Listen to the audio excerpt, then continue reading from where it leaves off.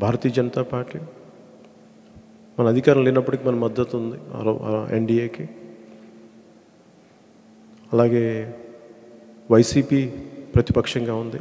అందరూ కలిసి సమిష్టిగా అమరావతి అనే ఒక రాజధానిని తీసుకున్న తర్వాత ఆ రోజు ఇప్పుడున్న జగన్ రెడ్డి గారి స్పీచ్ కూడా మనం చూసాం ఆ రోజుల్లో. పదమూడు జిల్లాలు చిన్న రాష్ట్రం అయిపోయింది. ఇన్ని ఇరవై మూడు జిల్లాలు పైగా ఉన్న చిన్న రాష్ట్రం అయిపోయింది.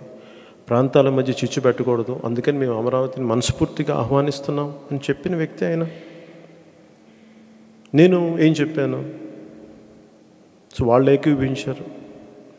అమరావతిని చెప్పినప్పుడు నా దృష్టికి వచ్చింది సంతోషం. అందరికీ ఆమోదయోగ్యంగా ఉండే చోట అందరూ ఒప్పుకున్నారు. ప్రతిపక్ష నాయకులు ఒప్పుకున్నారు.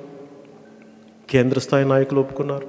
మిగతా అందరూ ఒప్పుకున్నారు. ఆ రోజున ఏ ఒక్కరు కూడా ఏ ఒక్క జిల్లా నుంచి కూడా అస అసమ్మతి గళ వినిపించలేదు. ఎవరి కోపాలు లేవు తాపాలు లేవు. చెప్పినాక సమస్య ఒకటి రెండు చోట్ల ఎక్కడ వచ్చిందంటే ఎంత కావాలి భూమికి దీనికి. నేను ముందు నుంచి ఒకటే మాట చెప్పాను. ఎంత భూమి కావాలి దీనికి? అది మూడు వేల ఎకరాల నుంచి ముప్పై వేల ఎకరాలు ఇరవై వేల ఎకరాలు ఇది డిబేటబుల్ నేను ఇది కూడా ఆలోచించాను. మూడు వేల ఎకరాలు సరిపోద్ది కాదు. రెండు వేల ఎకరాలు అంటే అర్బన్ సిటీస్ నగరాలు అనేది గ్రోత్ ఇంజిన్స్ బేసిక్ ఎందుకు?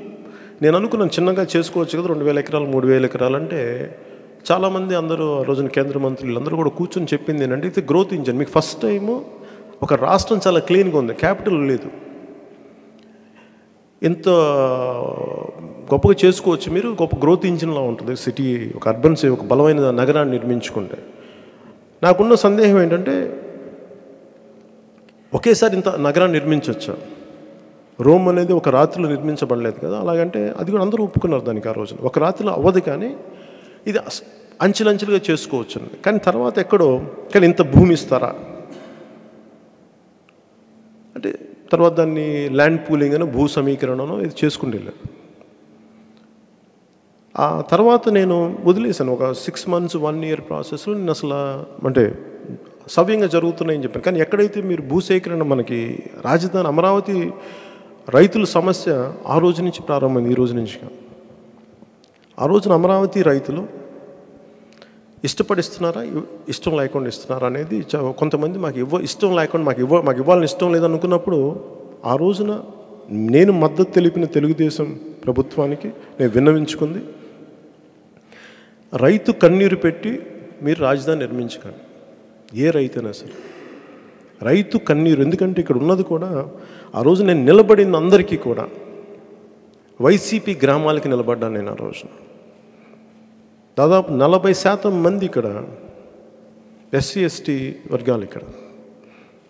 దాదాపు ఎనిమిది వేల ఎకరాలు అది మనకి అసైన్డ్ భూములు కానీ దానికి సంబంధం అలాంటివి కానీ అన్ని కలిపి ఒక ఎనిమిది ఏడు వేల నుంచి ఎనిమిది ఏడు వేల ఎనిమిది వందల యాభై నుంచి ఎనిమిది వేల పైచిలుకు ఎకరాలు ఎస్సీ భూములు ఉన్నాయి ఇక్కడ. వాళ్ళందరూ అడిగేది మాకు సమాంతరంగా మాకు మిగతా వాళ్ళతో సమంగా మాకు ఇవ్వండి అంటే దానికి వాళ్ళు పోరాటం చేసి ఇంకొక రెండు వందల గజాలు ఎక్స్ట్రాగా ఇవ్వడం జరిగింది. అలాగే మా భూములు కొంచెం రాజధాని పరిధిలో లేకపోయినప్పుడు మా భూములను తీసుకుంటున్నారని చెప్పి బేతపూడి కానీ పెనుమా కానీ ఇలాంటి గ్రామాలు పెట్టినప్పుడు నేను తెలుగుదేశం ప్రభుత్వం అప్పటి ముఖ్యమంత్రి చంద్రబాబు గారికి కూడా నేను చాలా స్వయంగా నేను విన్నవించుకొని మీరు మటుకు భూసేకరణ చట్టాన్ని ప్రయోగిస్తే మటుకు రైతు కన్నీరు పెడితే మటుకు నేను బయటకు వచ్చి చాలా బలంగా రైతులు తరపు నేను పోరాటం చేయాల్సి వస్తుంది. భూ సమీకరణతో వాళ్ళు ఇష్టపడి ఇస్తే మీరు భూములు తీసుకోకండి కానీ దయచేసి వాళ్ళ భూములు లాక్కోవద్దని పదే పదే చెప్తే వాళ్ళు భూ సమీకరణ మీద వెళ్ళారు తప్ప ఈ రోజుకి బేతపూడి కానీ పెనుమా కానీ ఉండవల్లి కానీ దాని నుంచి బతుకున్నాయి అంటే అది జనసేన తాలూకు బలమైన ప్రయత్నం.